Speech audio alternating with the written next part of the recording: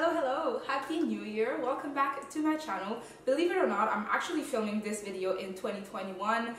Yes, I know, there is a Christmas tree in my background, but I personally like to have one foot in the holidays up until the end of January, just because it's my favorite time of the year. If it's your first time here, my name is Murielle. I'm a food photographer, recipe developer, and content creator. And on this channel, I talk all about food photography, vegan recipes, as well as personal growth. A few weeks ago, I asked over on Instagram what are some questions that you'd like me to answer, things relating to my business, what I did before food photography, my creative process, my journey, how I reach out to clients, and my future. And in today's video, I'm going to be covering all those topics and more, answering all the questions you have for me. It's gonna be more of an informal video. I'm gonna take it easy, probably grab my bottle of water because I'll be talking a lot. Um, but if you're interested in learning a little bit more about myself and my work and my creative journey, make sure to watch this video from beginning to the end. like any good Q&A video, I decided of dividing all the questions that I was sent on Instagram in different categories. So in total, I got five different categories of questions. The first category that I'll be covering here is my life before food photography. The second category will be my life as a food photographer. Um, the third category is going to relate to the business aspect of my job as well as client work. The fourth category will be all about my creative process. And finally, the fifth category is going to be all about my future, what I plan on doing here on YouTube, on Instagram, on my blog, and in general in my career as a food photographer. So let's jump right in and start with my life before food photography. So I've got my phone ready with all the different questions and the very first question is what was my schooling path? So when I finished high school, I decided to go into business to what we call here in Quebec a CEGEP. It's kind of like the equivalent of college in the United States. I studied business there for two years and once I was done that, I went to university and I studied international business and marketing. One of the biggest reasons why I was drawn to marketing specifically is because I've always been a creative person. I've always enjoyed creating things, coming up with concepts and ideas and executing a vision. So it was kind of natural for me to gravitate towards that. And international business was just because I thought that it could be useful to know how to do business in different countries. So I was in university for three years and graduated in 2016 and then it took me about one year before I started my food photography business but I'll get to that in the next category of questions. Another question that you guys asked was what was your job before food photography slash while you were getting started? So when I was in high school and in CEGEP, I actually used to work at a pharmacy as a cashier and then I met my boyfriend, and with my boyfriend together, we worked for a fair trade jewelry company. Um, it was a company that his parents became the distributors for in Canada, and we kind of jumped in and took on the distributors' roles. So we built up the website for the company here in Canada, we built up a social media following, we would attend events, and it was a lot of fun. It was very interesting, and I learned so much about business in general about sending emails to clients uh, without them asking for let's say a price list. It was quite difficult in moments especially that like the cold calling aspect was something that i really found it difficult at the time, but at the same time, it was one of those stepping stones that I'm happy I went through because today I feel a lot more comfortable doing it. It was also a great opportunity to learn how to design a website, um, how to manage social media, write captions, find hashtags and all that type of stuff. So we did that through un our university time and then in that first year out of university, I personally started looking into doing food photography for a job and in that year out of university, that's when I actually started off my blog and had a portfolio on it and started reaching out to clients. Did you take traditional photography training slash schooling? Uh, no, never. I actually didn't go to university or I never even took a course uh, for photography and even less for food photography in general. Most of the things that I've learned, I've learned through YouTube and tutorials and blog posts and also just a lot of practice and testing and seeing how things work. I've always been a person who loved tech. I really, really, really, really love tech a lot. I love learning new devices and how they work. And also, I've always been a person who appreciated art. One of my favorite classes at school was art. I really loved it. I started painting when I was seven or six years old. So I always had some sort of artistic hobby at different stages of my life. How long have you been doing photography? Well, fun fun fact, my very first photo shoot was when I was, I don't know, six or seven years old. I actually did a photo shoot of my Barbies in my parents' living room. I would dress up my Barbies in different outfits and take pictures of them. But then I really got into real photography when I got my first digital camera and I was about 15-ish years old. I was always the friend who would have her camera around with her, who would spend time editing the photos, taking of her friends, and so it's always been a part of my life. And basically, I got my very first DSLR after I met my boyfriend because his family is very much into cameras and photography, and he encouraged me to purchase my first DSLR. And once I got my first DSLR, I just fell in love with photography for real. I really, really enjoyed it, and it's been a love of mine ever since. Now that we've talked a little bit about my pre-food photography life, let's jump into my food photography career. The first question that I was asked was, what cooking skills did you have when you started food photography? My cooking skills were quite good. I've always enjoyed cooking. I would spend quite a bit of time growing up with my mom in the kitchen. I had quite a bit of experience in the kitchen. However, I believe that my food photography career is what brought my cooking skills and my cooking knowledge to another level. On top of just doing food photography, I've also been a, a recipe developer for a few years now and I've had to learn so much about food and I think one of the things that personally has helped me the most is just trying a bunch of other people's recipes. By trying other people's recipes, you learn what ingredients, what flavors go together, you learn new cooking techniques, you get more comfortable with it so that when it becomes time to actually either prepare a dish that a client has given you a recipe for or create a, an entire dish, you feel a lot more comfortable in doing so. How did you develop your own style? Well, it actually took me quite a while to develop my own style and up until quite recently I didn't even really know what my style was and couldn't uh, pinpoint specifically what my style is. I remember such a clear moment uh, maybe three years ago. I was walking with my mom and I was telling her like yeah, I really hope one day I can do moody photography. For some reason, it really speaks to me. And here I am today, and my go-to is actually moody photography. I really, really enjoy it. I personally love lots of contrast in food photos and that's kind of what I like to create with my images. I love deep shadows and beautiful highlights. For me, it was very important never to tell myself I can never do something while being honest with myself that, you know, maybe now I'm not able to shoot these type of photos, but at some point with practice, with time, with energy, with effort, and with just pushing myself outside of my comfort zone, I can get to that. If ever there's one style that you would love, love, love to try or to experiment with, really don't let your fear stop you or your tools stop you or your lack of knowledge. As I've mentioned multiple times in this video already, a lot of what I know today I've learned through practice and through just spending time with my camera, with food, playing with the light. Okay, another question that I got, which was actually sent to me by my brother Luke. Hey Luke, how's it going? Thank you for the question. uh, this question was, uh, why did I choose food photography as opposed to any other types of photography?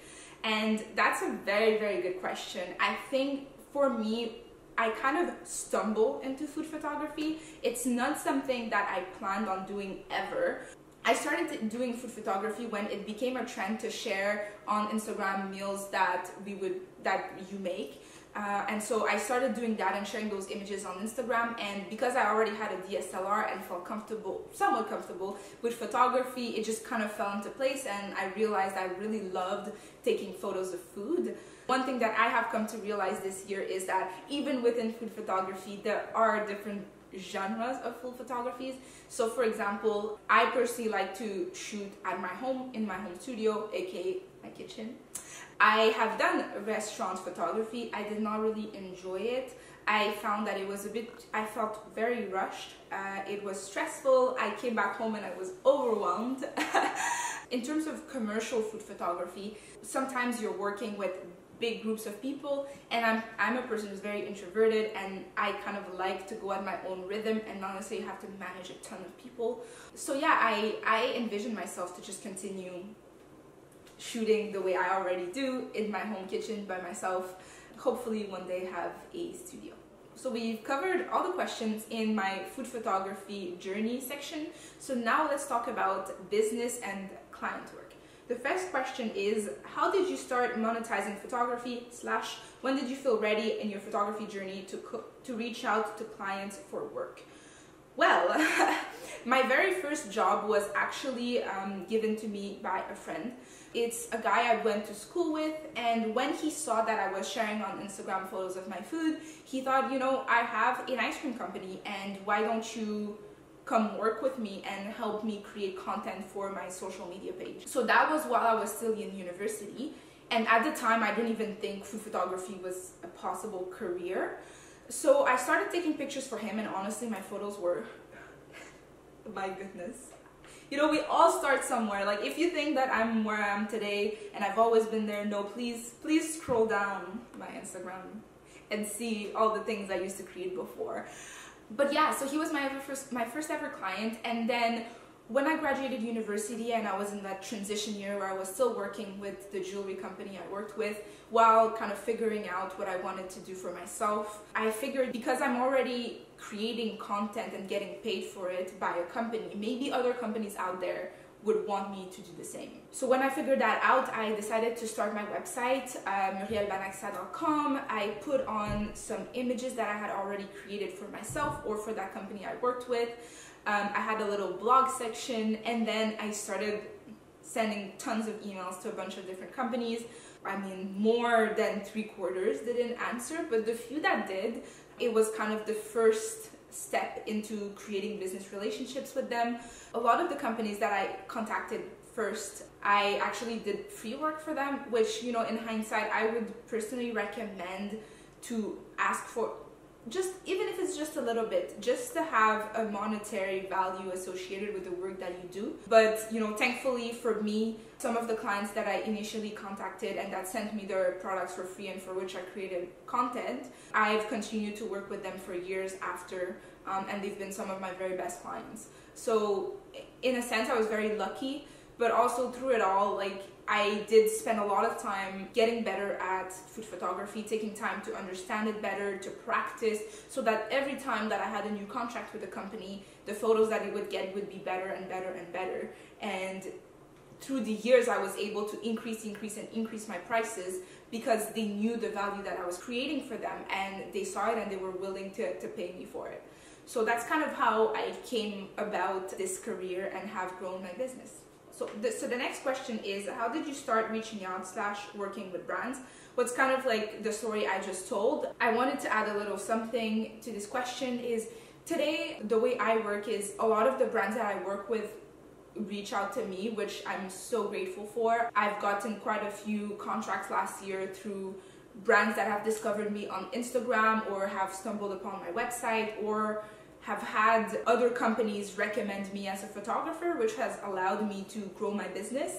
Once in a while, if there are brands that I really want to work with, I continue sending emails and asking if they're looking for a photographer or a content creator. And although it doesn't always turn out to work out, I still continue to do it, especially with the brands that align with my values and who I am, and also with brands whose style kind of fit with what I already do. Do you feel your work in food photography is sufficient for a stable life or do you want to find another path?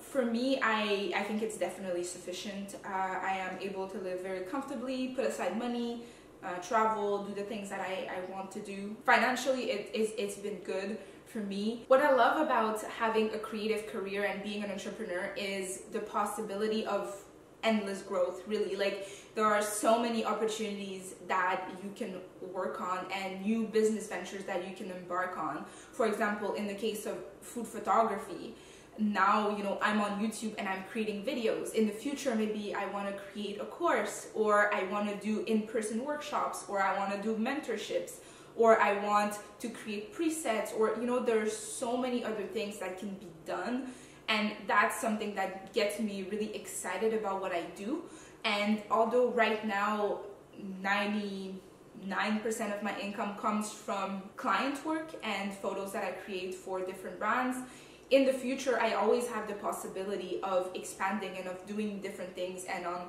focusing on other areas of food photography and trying new things.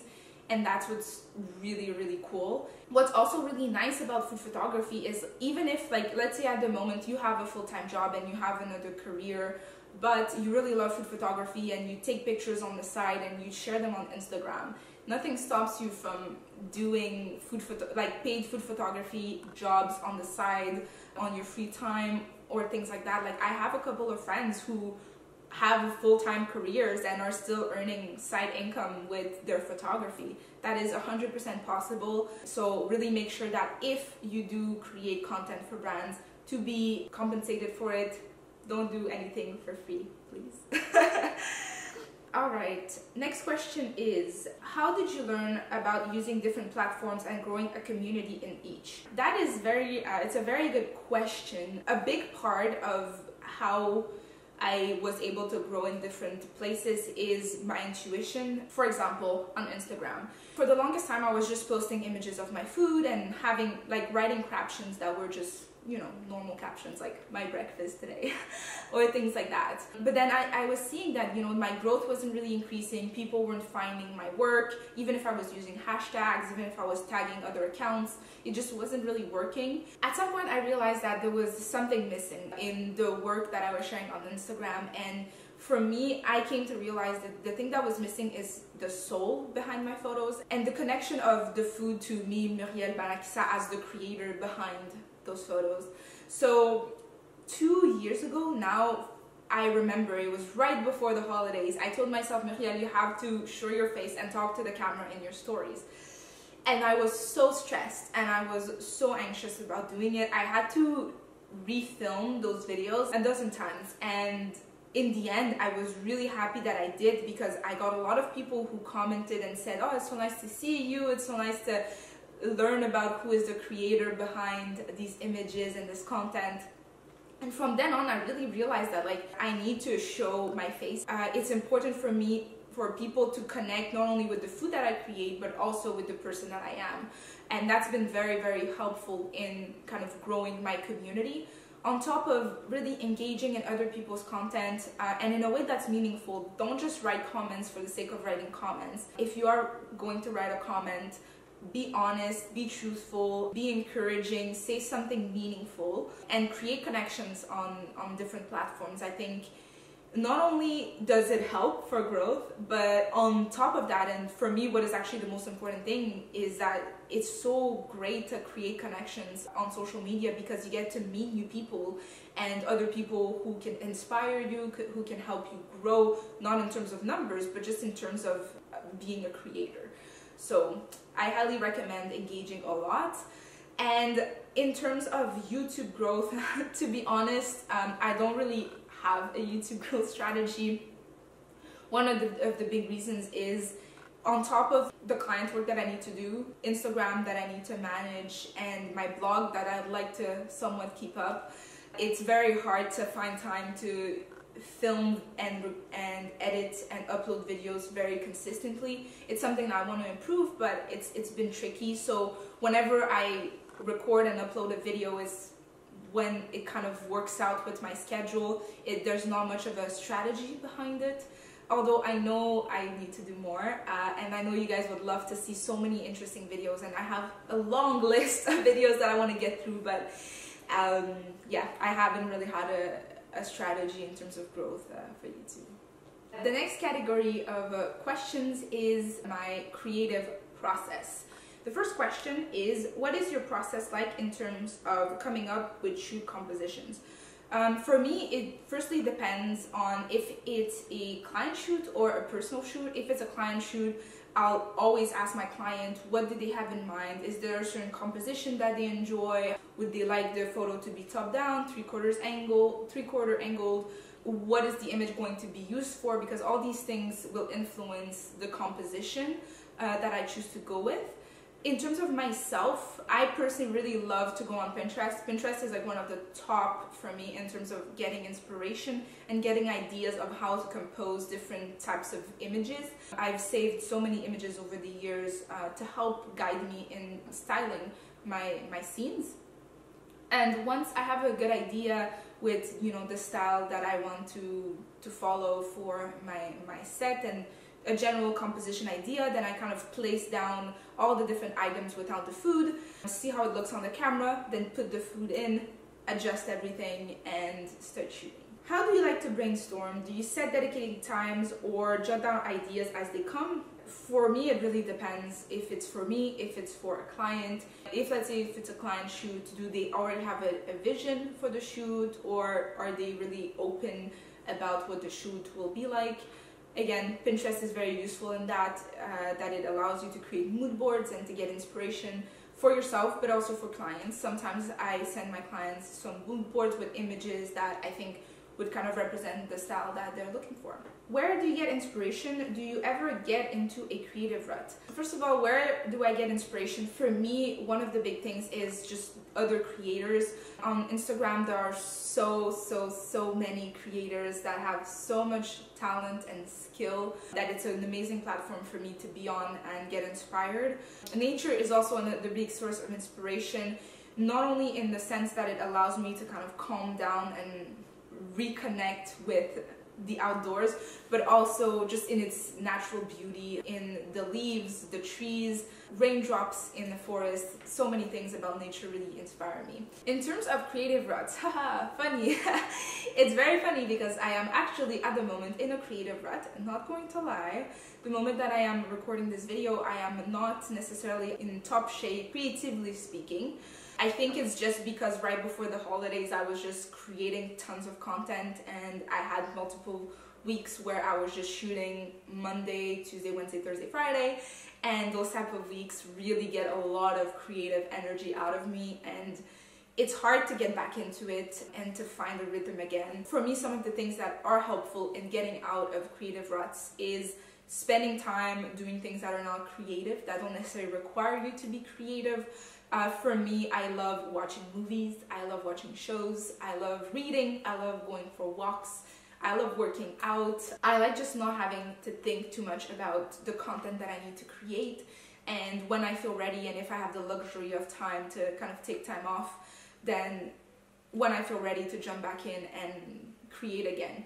And sometimes it doesn't go as smoothly as I hope to, but sometimes it goes really well and things kind of fall back into place. But it's very important when you are in a creative rut to put yourself first and not to push through it no matter what because that's that's something that could lead you to feeling even less creative and burnt out and all those bad things. Are you inspired first by a mood you want to create or the food itself? For me, it really goes both ways. In some cases, I'm more inspired by a mood that I want to create. I have an idea of like a type of scene that I'd like to create, and then I think, okay, what type of dish could fit very well into that scene. But other times it's really just the food that is the first element in the, the big photo shoot puzzle, I guess. And then once I know what the food will be, then I kind of plug in the different um, composition uh, techniques or styling choices and all that stuff. Have you experienced doubts along the way or the imposter syndrome? I have. of course, I mean, I think it is a very common thing when you are a creator because it's like you're putting yourself in a piece and sometimes you feel like that piece is not fully representative, it's not good enough, it's not it's lacking something so I've definitely felt that before. Other times when I felt the imposter syndrome is when I was actually writing my bio on my website. And on my website, I think it says something along the lines like food, food photographer, content creator, recipe developer, and educator. And when I, as I was writing that, I was like, well, Murielle, you're not really an educator. An educator is somebody who does courses all the time, who has a bunch of things going on where they're always educating people. Um, a recipe developer is someone who maybe develops like five recipes a week. You only post one recipe on your blog per week, and all these things. And even when people would ask me, "What do I do for a living?" I, you know, I would say food photographer, but part of me would be like, "But am I really a food photographer?" Yeah, food photographer. I feel like I'm just bootstrapping through this entire thing. But you know, with time, I just started telling myself, Murielle, if you're not calling yourself a food photographer, an educator, a content creator, and a recipe developer, no one else will. So you have to do it. And so I kind of just started embracing those titles. And even if sometimes I look at my work and I feel like, oh, I wish it could be better, or I wish I could improve this, or I wish I could have done this differently, or I look at other people's work and I think, wow, like I just wish one day my photography can look like that. I take my myself by the hand and bring me back to the present moment and tell myself, look how far you've come and this entire thing is a journey and every step along the way matters and you have to believe in yourself and you can make anything happen. So that's kind of the pep talk I give myself. Did you ever feel like quitting? No, uh, I've never really felt like quitting. I guess because I'm an optimistic person in nature and I'm a person who deeply believes in reinvention of oneself. And I believe that if ever something does go wrong or something happens and food photography just is no longer working and for one reason or, reason or another I think that I have the, the ability to reinvent myself and to create something new, to start a new career, to pursue something new. And I'm pretty confident in that I'll be able to, no matter what happens to me, find a way through and make it work. So, yeah, I've never really felt like quitting because there's no real reason for quitting at the moment. Everything is going well. You know, I'm very lucky in that I'm able to, to do what I love for a living. And if ever it's no longer the case at some point, well, we'll just have to reinvent ourselves. now, final category of this video, if you're still here, my goodness, props. I feel like this is gonna be a long one. so this category is all about my future. The first question is, how has the transition into videography been compared to photography? Ha! Two words, brutal, painful. It has been a pain and it's been hard. I'm not gonna lie, the perfectionist in me was struggling because one thing that I always tell my, some of my friends who ask me about videography, for me, one of the hardest things is the fact that let's say you're taking a photo, like you're taking a photo of um, a chia pudding and then there's too much chia seeds in, in one spot of the photo. It's fine. You can take the photo, bring it into Photoshop and edit the extra chia seeds out. With videography, if there is something that you didn't do quite right and you didn't notice it while you were taking the video, well, you have two choices. Either publish it and pretend like it's not there or start over. And that's been really hard because as as I said, I am a perfectionist and, and for me I like to get things right. And that means that sometimes I need to take a take multiple times before it, it is actually exactly the way I wanted to and that's been very uh, it's been a learning process. Also just learning a whole new program. I've said i love technology but whew, it's been tough learning final cut pro. Uh, i still don't feel fully comfortable with it but it, it has been a process to to get the hang of it and to feel comfortable with it. But honestly i'm really grateful i did because again I, I believe that it's so important to be resilient to push forward and to to get yourself outside of your comfort zone and you know, if it wasn't for this YouTube channel and videography, I wouldn't have connected with even more people and helped other people in their photography journey. So it's all worth it. Last question. There's only two questions in this category. Where do you see where do you see yourself in the future? Oh, well, that's a very good question. There's I see myself in many different places. One thing that I'd like to grow towards is becoming more of an independent artist. What that means is having to rely a little bit less on client work and diversify my income in a way that I'm able to generate money through different things, uh, including, for example, uh, maybe ads on YouTube once I reach a certain amount of followers, or uh, creating a course or doing workshops. That's kind of where I'd like life to go. I don't have very specific goals at this point. For me, one of the most important assessments that one needs to do is when they wake up every day to ask yourself, are you happy with what you're doing now? Are you happy with what you're doing today? And if that is the case, then you know, I think you're on the right track. And if it isn't the case, you know, we all have bad days and we all need sometimes to readjust a little bit. And if after a little bit of readjusting, you're still not happy, maybe it's time to try something else or reinvent yourself or do something new. And maybe that will happen for me, but at the moment, I'm honestly happy with what I do. I love food photography, I love creating content for you guys, and on that note, I just want to say again a big thank you for every single one of you who has been following me on this YouTube channel. It's been quite a journey and I'm so grateful for all of your comments uh, every time I post. It's so inspiring for me to to learn that I am helping other people connect with a passion and improve their skills when it comes to food photography. Yeah, I think that's about it. This is this was my uh, Q&A first ever Q&A video. If you enjoyed this video, make sure to give it a thumbs up, subscribe, share if you want to, but I feel like this video might not be a share type of video, uh, but maybe it is.